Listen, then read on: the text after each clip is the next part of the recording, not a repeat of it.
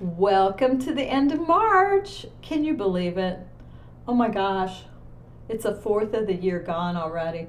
Thank goodness I'm back in my studio, or I would be freaking out at this point in time.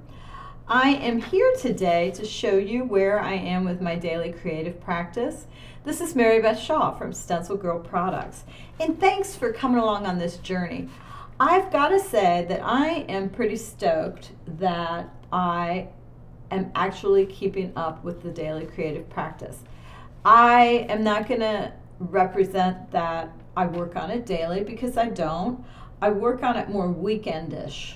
So probably every weekend I work on, you know, a spread or a couple pages. And by the end of the month I am finished. And that is fairly exciting for me because you know what? I've never done this sort of thing before. So I'm going to turn the camera and show you how horrifying I look when I get out of bed and I start filming first thing.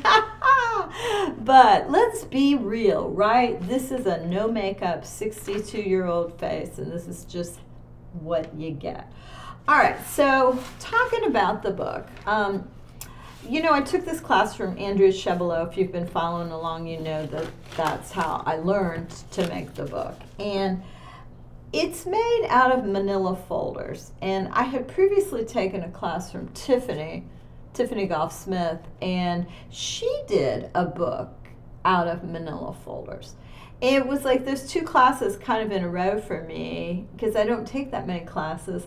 And I did those, and uh, they both had the same manila folder substrate. And I will have to report that I love working on manila folder. I never would have dreamed that it would take all the paint that I throw at it and the pencil and the collage and this and that, but boy, you gesso it and it just holds up beautifully. So I am here to endorse manila folders. Go figure, right? I'm going to turn the camera back around and show you my pages and tell you how I made them. All right, so the outside spread is the one that's the gatefold. And this one, I was experimenting with a lot of new products. I was using, you know, this came on the heels of the recording of my splash class, Make a Splash, that I'm teaching with Rae Missigman. And I am continuing my exploration of watercolor and all of the other mixed media delights. I've got Caran d'Ache, I've got Dina Wakley, Glossy Spray, I've got Gessos, I've got Posca pens, I've got collage. I have all the things in here and I am totally loving the idea of putting all these things together. For me, the one thing that guides me is that they're all water soluble products. I'm not putting any oil based products in here except maybe a little bit of oil pencil. And truly I don't think there's enough oil in the oil pencil to affect it in that oil and water kind of way. So anyway this is the opening spread. This vintage stuff you know what my studio disaster taught me is you do not need to save these things because something will happen and you might lose them. So I'm using all the vintage things.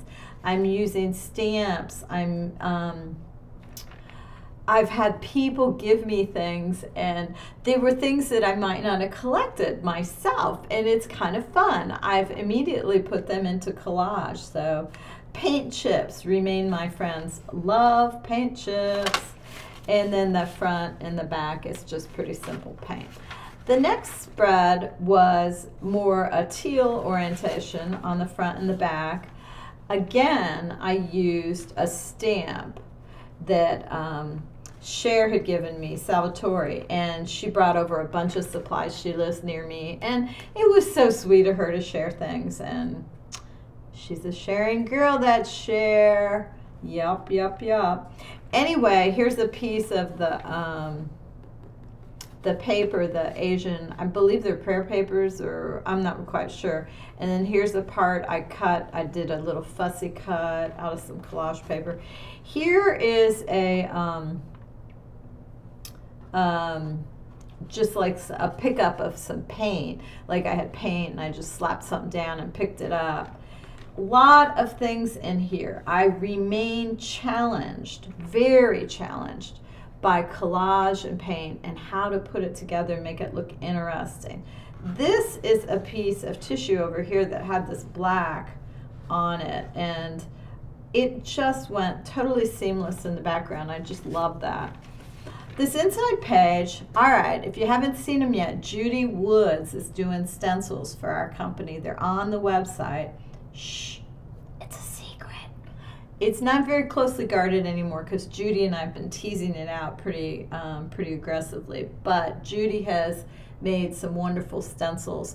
I am part of her STARTS workshop and her STARTS group. I find her education to be exactly the kind of education I need as an artist 20 years in looking to shape up and shake up, I should say, my practice. So this is one of the little masks and there, there's another one. It's I think it's this whole thing as a mask. They're just too cool, too cool. All right, so look at this down here. This is a piece of packing tape. You might have seen my reel over on Instagram where I showed how I use packing tape. So here's what I do is, and really it's just that clear tape you use for shipping. You know, it's real sticky, it's clear, it's glossy. All right, so you have your paint palette, and if you're finished painting your palette, your jelly plate, whatever it is, you can pick up the paint with a piece of the tape. This is the one I showed on the reel. So all you do is just go like this, and the stickiness of the tape picks up the paint, and you're left with this super cool looking collage part that you could never create any other way. And that's the sort of thing I love incorporating into my work. So I have a piece of it down here. Well, okay, so I didn't want the glossy side and I was too lazy to paint it with matte medium like I suggest in my reel. So I put the glossy side down against the receiving part and I glued it down there. I used some double-sided tape and then I was worried about whether it was going to stay or not because sometimes it's so glossy you can just peel it right off. And I had you know, something over here kept popping up too. So anyway, I took it down to my sewing machine and I just did a quick one line stitch over here to hold it down. I think it adds some visual interest there as well. So there is that spread. And then the next one, you know I do love my orange, right?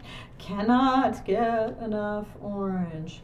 I was tracing within a letter stencil down here. And if you do it in such a way, it almost doesn't even look like letters. It just looks like marks. I mean, you can see that there are letters there, but I love how that works. So when I worked this, I worked it open like this way, and then I worked this way. So that's how I normally work a spread. And again, I used things that people gave to me because I wanted to honor their gifts and use those things in my work because it always reminds me of them. And then this inside part, this was a little piece of, I don't know, some kind of stick or something that I was having trouble getting to stick. And so again, I did a little bit of a sewing machine line down there. So that is what I do when I have things that don't want to stick in my journal. Sometimes I'll just take a couple holes and just take a few um, hand stitches over top. But in this case, I did the actual sewing machine part and I stitched it down.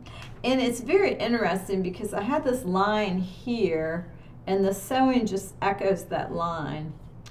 It's, I feel like when I work in my journals, it is so frequently synchronistic how these things occur and the fact that uh, you know, I wasn't thinking, oh, there's a line there, I'm going to put a line here. I was thinking, oh, this piece is coming off the page, I need to stitch it down, and I'm too lazy to do hand stitching today. So I just ran downstairs and threw it under the machine.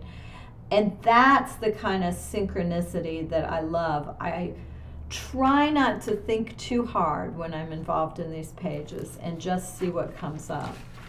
So, three months in the year, and I am still doing it. I'm so happy to be able to share these with you. I'm so happy to be back in my studio.